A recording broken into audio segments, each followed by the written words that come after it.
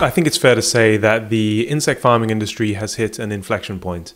Some might even call it an overhaul, others even a straight up bust. In this video, I want to explain what's really been happening. Why are so many insect farming companies collapsing? What's went wrong? How a new wave of companies is rebuilding a more sustainable insect business model that could finally make this industry work. Stay till the end of the video and I'll give you the whole picture. I've been researching this field since 2013 and working inside it for six years as the CEO of Flybox. So, what you're getting here isn't hype. I'm trying to give you the view from the trenches, so to speak, and all the conversations I have with other execs. And before anyone says I'm being pessimistic in this video, I'm not. I'm trying to be realistic. I still believe insects can become one of the pillars of a truly circular food system. That's why I get up in the morning. But first, we have to talk about the mess before we can even get to these awesome solutions that are out there. Basically, what the fly is going on out there? Things have gone from bad to worse for the big insect factory business model. First it was Enterra, then you had Ynsect, Agronutris, Hexafly before, and most recently Enorm.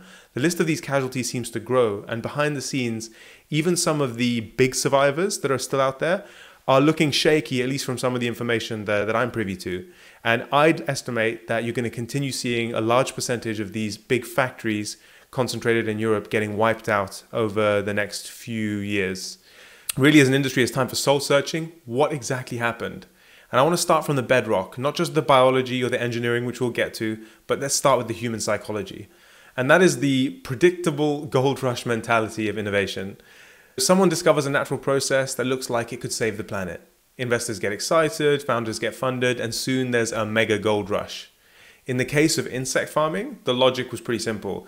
Insect are nature's recyclers, and they're a rich source of protein. Why not farm them at an industrial scale and turn waste into feed? This is a circular, sustainable dream, and there's nothing not to like there. And in principle, yes, it's brilliant, it does all of that. But in practice, economically, it's been disappointing to say the least. Before I get into that, it's worth saying that this same market psychology, this boom and bust cycle, is a feature of agricultural tech or ag tech in general. Venture capital in ag tech has only really been a strategy since the mid 2000s, with alternative proteins becoming a major trend from 2012 onwards. So, whether it's lab grown meat, vertical farming, plant based meat, land based aquaculture, the pattern actually that I'm going to go through is the same. What's this pattern? Well, step one is there's a kind of narrative driven gold rush phase or the boom. So some compelling story emerges. In vertical farming, it's solving food deserts. Lab meat is ending slaughter. Land-based aqua will put an end to fishing our natural ecosystems. And this usually coincides with external triggers like climate headlines, policy pu pushes, or some kind of flagship IPO or mega round that kind of spurs things on. Either way, capital floods in and, cap and valuations get way ahead of the unit economics. And the idea here is to let the narrative carry the day and let the money flow in for the execs and the people making fees on this investment money. Step two is the big bust. It's when the scaling economics, regulatory bottlenecks, or slow adoption sets in, the sector experiences sharp pullbacks, companies fail, down round spread, and the investors kind of rotate out of the strategy. And vertical farming's crash is really a textbook example that we're all aware of in the news. Step three after this bust is the few firms that actually did reach technical feasibility and reliable unit economics, they consolidate market share, often with kind of more strategic investors stepping in, and the corporates partner with the IP left on the table and localize the technology to their supply chain issues, cautiously progressing now that the hype men are out of the picture capital becomes more discerning and specialist. And so finally, step four, what happens is a second generation of companies enters. I think you can already start seeing this. They've learned from these previous failures. Funding comes back, but more rationally, often in adjacent or derivative niches. So an example of this would be alt protein shifting from plant burgers to precision fermentation and hybrid products would be a good one. Or the vertical farming switching its focus from crops to high value herbs. So this is that maturity phase after the corporates get involved often. Each theme, whether it's insect protein, seaweed, vertical farming, all that stuff, has its early hype peak, its painful correction, and then a slower build towards a sustainable business model in various niches or corporate settings that, that makes sense. So hopefully that's clear that that's just a trend in general. The lag is fairly long. Usually it's between five to 10 years from this top of the hype peak to the rational scale. And that's because biological systems and food value chains move much slower than, say, software. So for insects, hype was probably about its peak about three years ago. and will emerge, but capital efficiency will be key.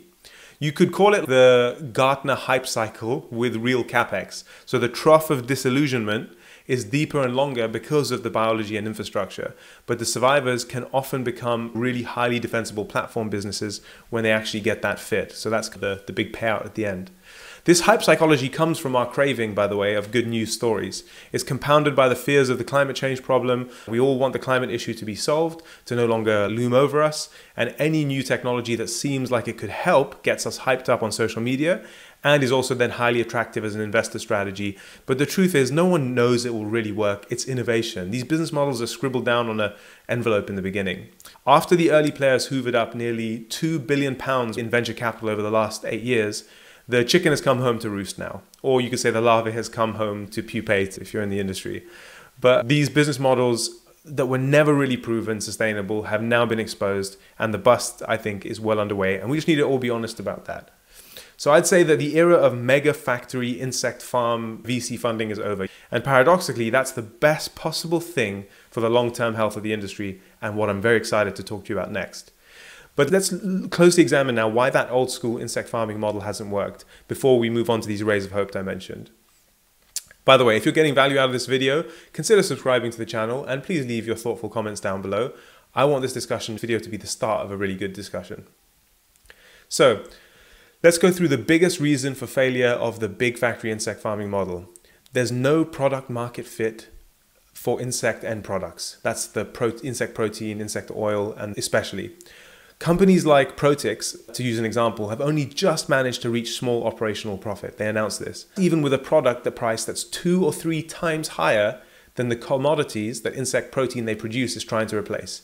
Consider that soy meal, so soy protein, is $500 a ton. Poultry meal is $700 a ton. Fish meal is $1,500 a ton. Insect protein is $3,000, $4,000 a ton in Europe. You cannot expect feed mills or pet food producers or animal nutrition companies or ingredients buyers to pay two or four times more without a really, really strong reason. And the early players tried to justify or claim that their research shows that insect protein was better for animal health, the environment, and so on. But most of those benefits, if you actually know something about nutrition, can be achieved through cheaper ingredient blends. So, just a quick example like you say that chitin's good, but you can get it from shrimp, shrimp waste animal proteins you can get from fish meal, poultry or feather meal for sustainability. So you can address some of the claims that insects are through other cheaper ingredients. And now I don't want to minimize the research. Some really important things happened with insects, the value that they can have to certain animals, but the industry pushed it far harder to attract investors than to win over actual buyers. So many European buyers only purchased insect protein to subsidize the industry in the short term. That's actually what was going on. Large aquaculture companies, for example, consume tens of thousands of tons of protein annually for their feed. Under pressure from investors and regulators to decarbonize, they were willing to pay a green premium temporarily just to test the claims and also to tick the ESG box. Think about it, it's such a drop in the ocean compared to the amount of protein they buy. It's okay to subsidize it and be seen to be doing good. But once their actual trials ended and the economics didn't work or stack up as the PhD researchers at the insect company said, the subsidy stopped and the collapse started. So to summarize, here's why Western factories have failed. They focused on premium protein, trying to create a fancy new insect farming industry instead of starting from waste management. They massively prized capex. They built Rolls Royce factories when a uh, Ford Focus would have done just fine. There was no true product market fit. There was a temporary green premium dressed up as a scalable demand, and they scaled too fast before proving the fundamentals at the pilot scale. So now we have an industry that's burned billions, produces a product the market won't pay for or value the way that they expected, and built overly expensive plants and moved far too quickly and too confidently. No surprise we're here. That said, the situation, by the way, in the global south is a little different. Many solutions there are actually low capex and very climate friendly. They rely on the natural favorable climate, the cheap labor, low energy use, and all that. But those markets conversely don't also value the product very highly. Like local buyers won't pay above soy or low grade fish meal prices. And since waste disposal is cheap there, just like dig a hole and bury it kind of cheap, there's little incentive to actually pay for processing of waste. So that market for waste isn't really there because that's based on regulations. So that means that even exports from Asia to Europe can lose their cost advantage also after shipping and tariffs take into account. So yes, it's cheaper to make technically in the global south, but still too expensive to compete where the products achieve their highest value. So it isn't a straightforward story as, yeah, Global South will necessarily be amazingly better, but it is better. So what's next for this, uh, this insect farming industry? Well, VCs are burned, so capital will have to come from, from elsewhere, and with it, a different strategy. As always, the clue lies in this typical agtech cycle consolidation, the wiping out of inefficient players, refocusing on waste management first, smaller companies rebuilding real product market fit, and lowering capex. This time, corporates in waste, food, and agriculture will drive it through joint ventures with the survivors. And you can already see it happening. So, PreZero, which brought AgriProteins IP, is launching a much more modest scale facility Tesco's testing insect based pilots, and waste companies in the UK and Asia are quietly moving in with acquisitions and pilots in various countries. This is the rise of what I've called and what many people are now calling the insect waste management industry, or IWM. IWM is a fundamentally different model. It's lower cost, modular, built directly on waste sites. It eliminates logistic costs, which can be up to 40% of the cost of insect protein, and focuses on practical partnership with those companies that have waste and value a closed loop system. Breeding and entomology in the IWM business model becomes a service catered by specialist companies that supply new operators with a steady stream of juvenile larvae. The technology becomes hyper accessible and scalable because when you outsource lots of things, smaller scale sites can actually make sense. So they start small, scale gradually, and integrate directly within existing waste operations. And the real end market, it's dried and live insects. Now just think about it. Why is the industry trying to shoehorn in dried and defatted proteins and oils, all of which have massive competition from consistent and stable supply of alternatives like soy and fish meal? All the antimicrobial, the welfare, the supplementary goodness comes from the fact that feed is in fact an insect. Fish and chickens and pigs are biologically tuned to seek out insects, to recognize what they look like, hunt them, and it regulates all sorts of negative behaviors when they eat them. For welfare and fed supplements, they can improve performance measurably. But critically, nothing can compete with an insect except an insect. Fish meal, soy meal, none of it looks like an insect. So, this finally is, if you think about it, an end product that we can focus on as an industry that doesn't have a competition. So given the economics don't seem to work for these other end products, this is a much better solution. So now just think about what we've talked about. The vision becomes clear. We help existing corporates in waste and food deploy low cost viable systems, outsource the complex parts, and produce truly circular local products that have no competition. Now, doesn't that sound like a much more compelling industry? And indeed, potentially even a new investor theme. And that's what this new IWM represents. Waste is the key variable. The insects are just the byproduct. With organics to landfill bans coming into force around the world, for instance, in 2030 across Europe, in 2026, there's the simpler recycling scheme that hits the UK. Waste managers are desperate for new solutions. Food retailers want circular options rather than using anaerobic digestion for waste to energy. IWM fills that gap. It's fast to deploy, doesn't need a grid connection, and handles the waste streams that other technologies ignore or aren't useful for. Anaerobic digestion plants are already being flooded and starting to charge double what they did a year ago. That's because of the black bin waste coming from the Simpler Recycling Scheme and FOGO in Australia and all these schemes. IWM offers a flexible local complement.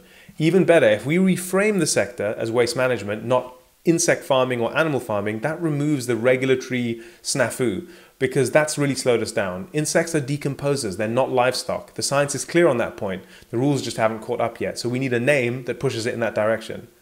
The boom kind of peaked in 2023. As with every cycle, insect farming will re-emerge under a new narrative within the next few years. And I think IWM is the narrative that can deliver the goods, showing receipts as fast as possible. Now is actually a very exciting time for this industry. The hype has cleared and there's space for the serious grounded players to rebuild on solid economics. If we truly believe, as I do, that insects should be a key part of a circular food system, then here is the vision we can start to orient ourselves slowly towards. Now, my aim hasn't been to sound like the god emperor of the insect industry. I'm still learning myself. But just to, to, share my take as someone who's been deep in the space for six years, and I do talk to founders and execs at all of the companies since I sell technology in this space. In this industry, many of those people agree with me in private. So I want to bring this up for something now to discuss. I haven't just come out with it with my head. So hopefully this video has been useful. Do stay subscribed. If you like the video, you'll get all my future breakdowns as the story unfolds. I'm sorry if I've been sort of Eurocentric here, but frankly, that's where 80% of the capital has actually been deployed and lots of the headlines have come out of and where therefore the cycle that I mentioned is hitting the hardest. But do leave a comment down below if you have stories and data about the situation in developing countries or you think I've missed something, which I undoubtedly have in a short video like this about the industry as it stands today. I hope this video will also serve as a motivator for those in the industry today and those wishing to enter it really soon to focus on the waste management problem and the end market fit. Researchers and commercial people are like, that's where we need your attention. That's where we need you starting companies and doing research. So let's align ourselves to the bit that people actually want, that's a natural fit like a glove into the things that already exist in the market. Instead of this big insect industry factory over here, let's integrate into the food system with practical waste management solutions, the unique end product, and the right partners for this kind of technology. From there, we can take the time to build the industry into what it can be.